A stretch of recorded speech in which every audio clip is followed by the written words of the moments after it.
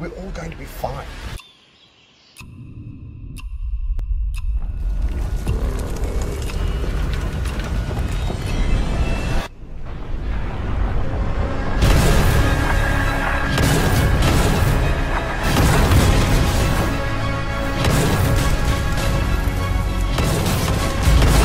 So, uh, welcome Simon West to uh, the Screen One interview. Um, the for those of you watching, he's the director of some of our personal favourite action movies in Con Air and Expendables 2, among others. But currently, you have your latest movie out, Skyfire, which has just come out on Blu-ray, digital, and DVD over here. So um, let's get straight into it. I mean, Skyfire, I enjoyed it immensely.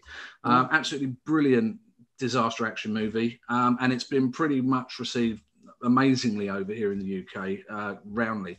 So, what do you think it is about disaster movies that people love so much? Um, I don't know, uh, you know, where the line between a disaster movie and a straight action adventure mm. lies. Really, it's sort of it's a throwback to the seventies that that uh, mm. disaster title, and I guess it's because it's like one big bad thing happens, yeah. and that makes it a disaster. Um, and I just think, uh, you know, whether it's an action film or disaster thing, uh, movie. It's really about your heroes being in jeopardy. So mm. you know, if you care about them and you're interested in them, um, whether they're being you know attacked by a you know a, a, gang of bandits or a in this case a angry volcano, um, you know, you want them to survive. And uh, so they, you know, I don't think people necessarily think, oh, it's a disaster movie versus an action film. They just think this is going to be a you know a roller coaster ride. Great. So, um, Skyfire is, is a Chinese based movie, isn't it? So, um, how did you come to getting involved with it? And obviously, how difficult was it making the film with obviously the language and culture differences in how they come to make films over there? Well, the difference with this film is that, it, you know, a lot of um, films in Hollywood, you know, recently in the last 10 years have tried to uh, appeal to a Chinese market as well because it's now so huge mm. um, that it's, you know, it's half the world practically. So, I mean, what often happens though is they'll they'll throw in a token Chinese character, put a bit of a Chinese, you know, plot line in it, and then go off and make you know pretty normal Hollywood movie. And the Chinese don't actually like that. You know, they're from uh, from what I've found, they just they they re- realize what's being done, and they're sort of having the wool pulled over their eyes, and it's just a, a bit of tokenism. So the difference with this is it, it is made by you know Western uh, mm. well, an international crew actually. It was 17 yeah. different nationalities oh, wow. on the crew, and we shot in Malaysia. And um, so, you know, the common language on set was English because that was we had to find mm. one language that most people could speak. And you know, there were there were um, predominantly a Chinese cast, but mm. the cast was bilingual, so it wasn't like okay. I had to, um, you know, go through ten interpreters just to direct the actors. Um, but what was different is that instead of just trying to make a movie that you could dub or or um, uh, subtitle for different markets, especially mm. for the Chinese market. I actually shot it in the two different languages. So I shot most of the scenes twice, once mm-hmm. uh, in Chinese and then once in English. And so there's two different edits.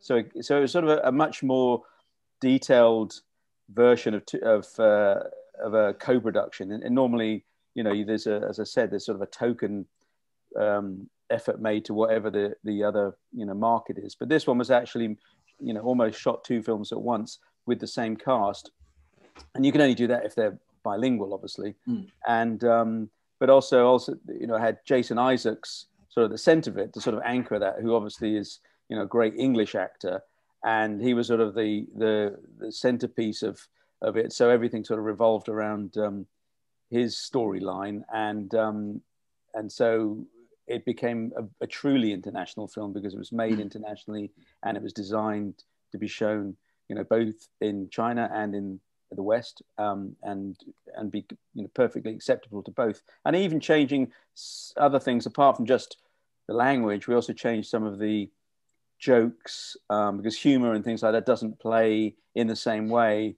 in in both cultures. So, for instance, you know, in China they don't have deadpan humor as hmm. much as we do. So some of the sort of dry, ironic um, jokes had to be changed into much more, um, you know, Chinese culture friendly. So um, it was like almost like shooting two movies at once. But obviously, all the action and excitement mm. is all you know the same in both. Yeah, action's one language, I suppose. Yeah. Um, so yeah, so you just mentioned Jason Isaacs, who who was the you know uh, was in South African, wasn't he? Wasn't to in English. Um, yes. So well, he was he was to... he was channeling uh, Elon Musk for that. Um, oh because, right. Oh, okay. Yeah, because Joss we, Ackland from Lethal Weapon Two. It's all good. no, because we was it was really um, he plays, you know, a character who's not the bad guy. I mean, the, the volcano is really the bad guy um, mm. who's trying to kill everybody. Yeah. Um, and he, he was just a dreamer who built this resort on what he thought was an inactive volcano, but turned out to be an active one. And so he was a dreamer. And so when I was talking to Jason about who this person is, he said, well, he sounds a bit like Elon Musk to me. You know, he, he wants to fly to Mars. He wants to build, you know, uh, homes on the moon and things like that. So uh, he decided to go the whole hog and do the accent as well. It was great. It's great. So, um, once you just you just touched on it there. Um, it's another large ensemble cast movie that you've done, um, and as I previously mentioned, Con Air and Expendables 2, which are also large ensemble cast movies, um, even though they're action movies, obviously.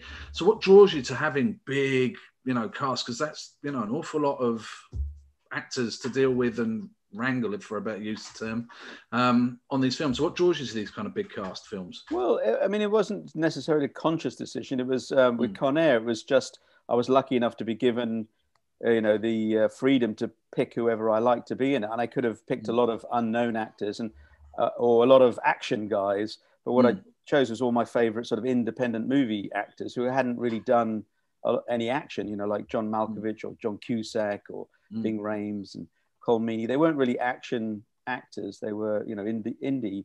And even Nick Cage was only just becoming yeah. an action star there. Before that, he was in some, you know, incredibly cool, you know, small indie uh, films. And so it became an ensemble cast because it just I was allowed to go and collect all my favorite actors, and and then it sort of became a thing.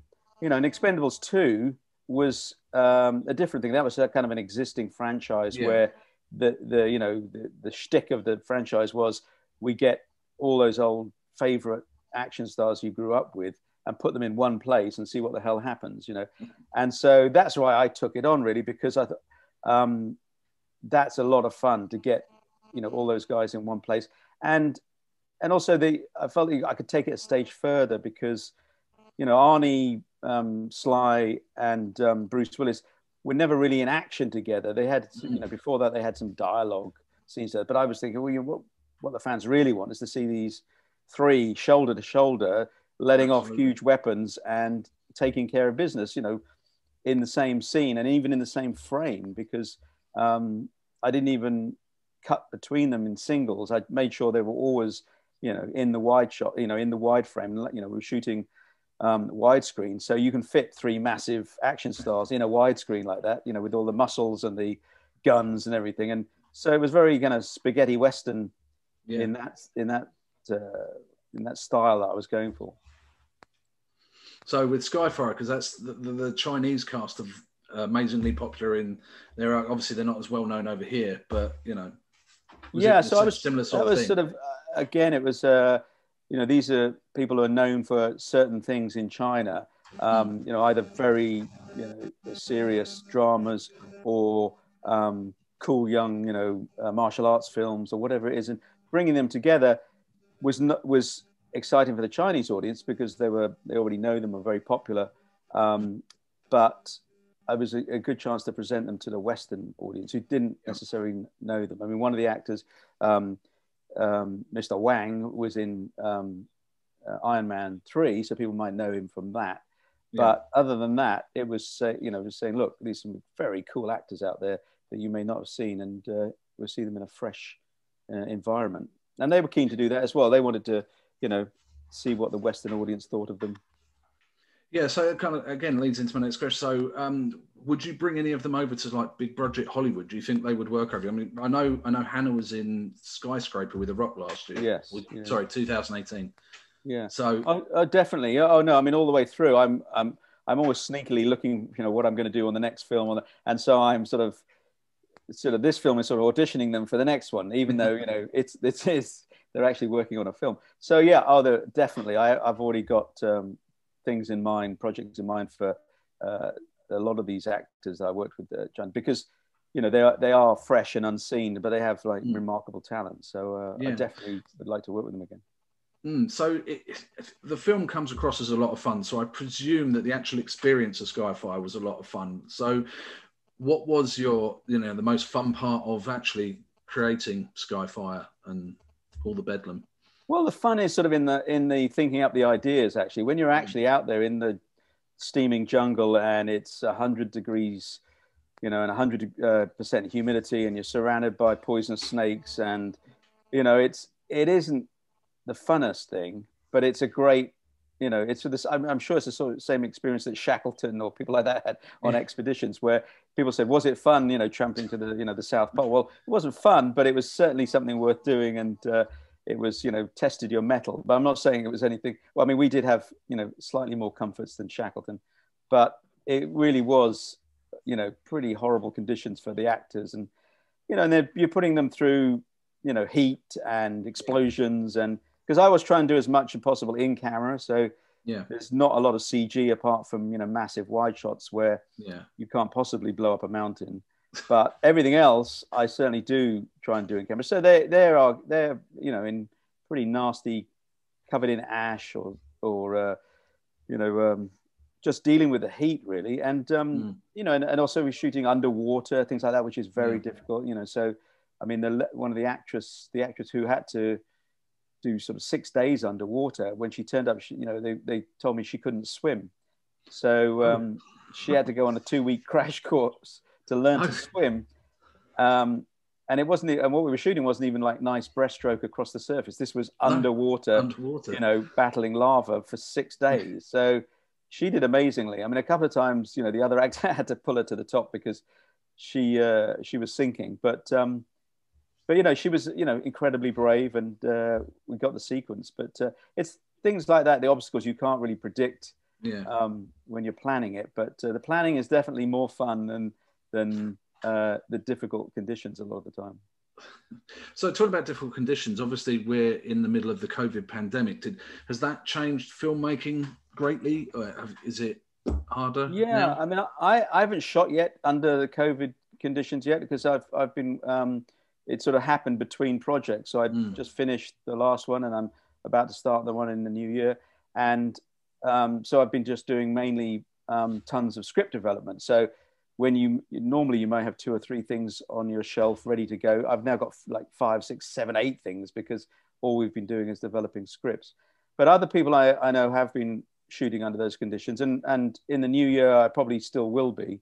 And it's just you have to be a lot more careful about contact with people, and you make bubbles, and um, it takes it's slower. But it, it but any any difficulty like these these sort of things def, usually make everyone more focused and actually often becomes more efficient because you can't afford to mess about, and so um, everyone's very you know on the ball. So I haven't done it yet, but I, I will be in the new year, and um, I'm sure it's going to be uh, interesting. Which brilliantly leads into my final couple of questions. So your next project is the Legend Hunters, I believe. Actually, before that, I'm doing um, uh, well. Legend Hunters, I've already shot. Oh, that's, okay. That's in post, Mhm. and um, the next one I'm shooting is actually uh, the uh, story of Ferdinand Magellan, the first person to circumnavigate the Earth. So Oh, wow. uh, next year is the 500th anniversary of uh, what remained of the expedition making it back. Uh, but it's not a spoiler. I think everyone knows that the expedition made it, made it back.